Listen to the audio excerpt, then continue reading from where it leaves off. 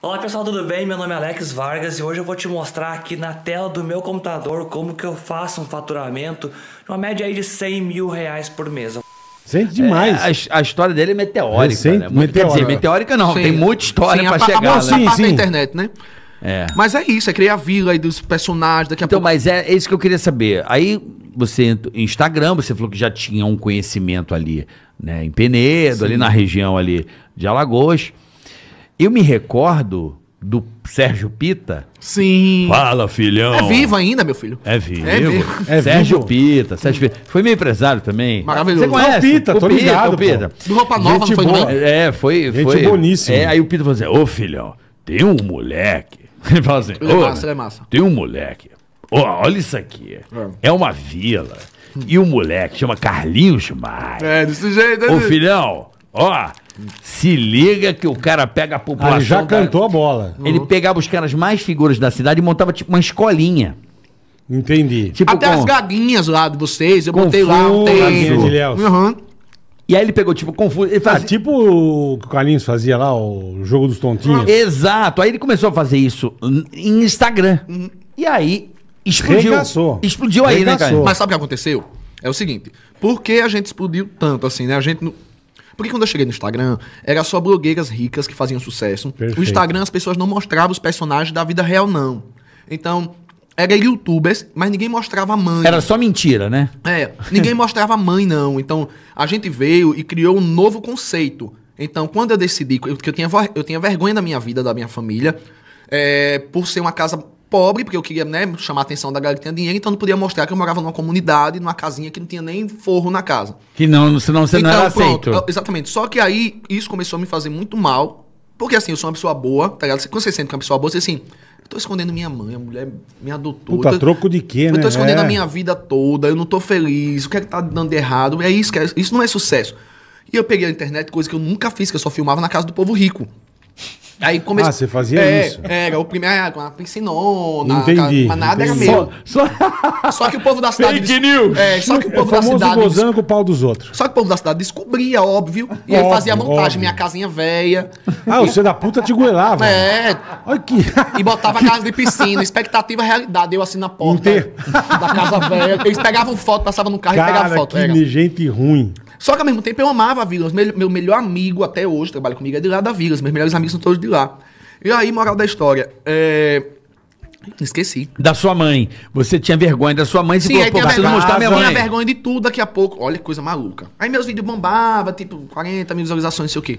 O primeiro vídeo que eu fiz com a minha mãe no Facebook, que ela só apareceu, deu 30 milhões. Caralho. O segundo, pô, pô, pô, não tinha um vídeo que não fosse menos que isso, Puta 60 que milhões. pariu, pum, velho. pum. Era tipo assim, eu digo, caralho. Puta absurdo. Diga aí, eu, na minha casa velha, a coisa que eu mais escondia foi que me fez sucesso.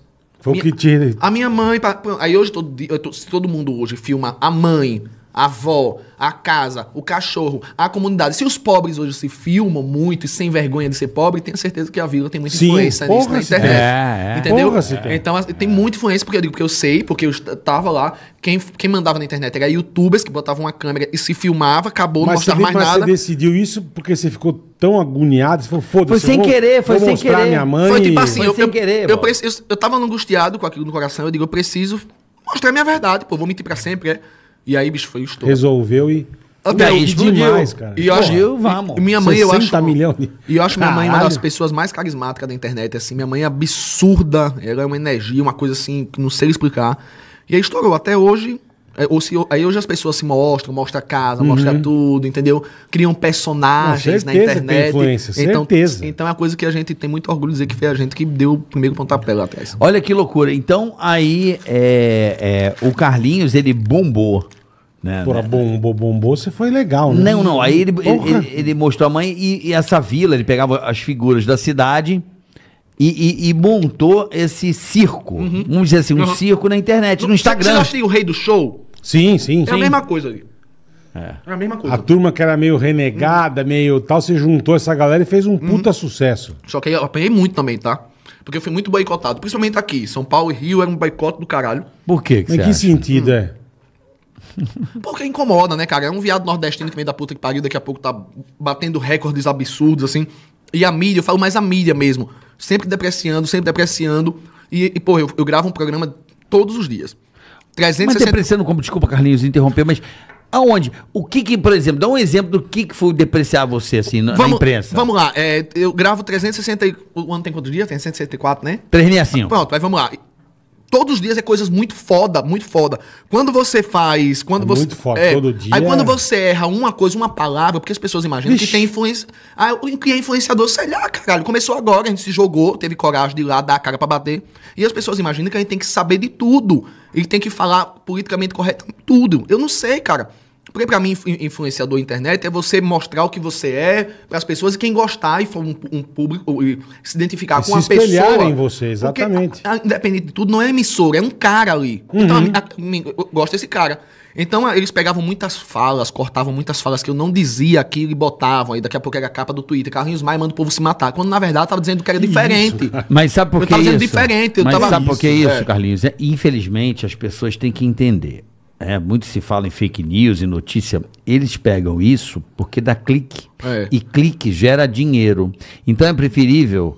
O cara dane-se a inventar repo- mentira. Não, pegar um trecho e, e botar em outro contexto. Ele não falou isso, exatamente. Sim, mas então. o cara ganha em clique, e clique vale Não, grana. sim, sim. E dane-se o Carlinhos, É, velho. Dane-se o Bola, dane-se o Marvel, dane-se quem for. Só- O importante pro cara é o clique É, e é. dane-se. É, só que aí, velho, aí pronto, aí você começa a entender que o jogo é diferente, que é um jogo, de, é que é realmente um Pra jogo caralho, essa porra. é. Aí você começa a parar de estar em Alice, sabe? Eu ficava muito Alice. Aí fulano, ai, Carlinhos, posso ir na sua vila gravar? Aí vamos, e todo mundo divulgava a música, a música Ah, do cara todo mundo lá gravar. Todo mundo foi lá. Caralho, que Todo legal, mundo foi lá. meu. E tipo assim, vamos, vamos, isso aquilo. Aí na primeira coisinha, não sobrou um perto de mim. Eu digo, tá caralho, virei um leproso. Ah, a primeira cagada. É. né? Ah, então. Aí eu- É sempre assim, é, é sempre- Aí do cara- Exatamente.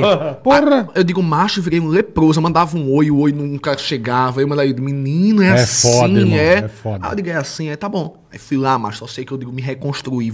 Peguei meu povo, eu digo, vai se fuder, vamos botar pra... Ficamos maior ainda. Aí hoje, você divulga minha música? Não. Você faz no seu... Posso ir? Não. Não, não, não. Entendeu? Porque chega uma hora também que E você pra cansa. queimar você, lógico, é, tem que chegar é. uma hora que você cansa, pô, de pá, se arrombar, tipo assim, você só é bom. Porque eu sou, eu sou amigo no bom e no ruim. Sabe? Eu não, Amigo eu é não sou amigo, amigo né? pela metade. Tipo assim, eu sou amigo de um ser humano, sou amigo de uma máquina. Aí entendi esse jogo que acontecia aqui, mas de todo o contexto já passou e hoje tá na melhor fase da nossa vida.